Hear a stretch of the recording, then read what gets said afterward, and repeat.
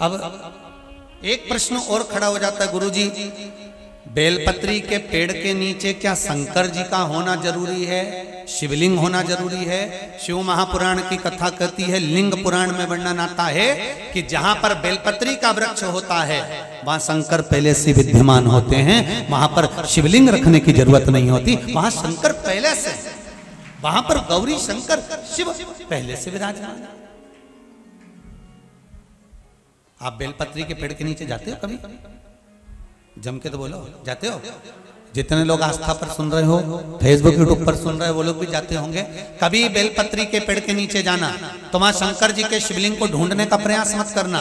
पानी की बोतल ले गए हो, जल लेकर गए हो, कलश के अंदर तो सबसे पहले जड़ के अंदर ले जाकर पानी डालना। जैसे ही जड़ में तुम पानी डालोगे, शंकर भगवान उसको स्वीकार कर लेते हैं। और बेलपत्री के पेड़ पर जब तुम पानी चढ़ाते हो तो लक्ष्मी ब्रह्माणी और पार्वती तीनों उसको स्वीकार कर लेती हैं। मात्र बेलपत्री के वृक्ष में उस आनंद की अनुभूति हो जाती है। आनंद की अनुभूति।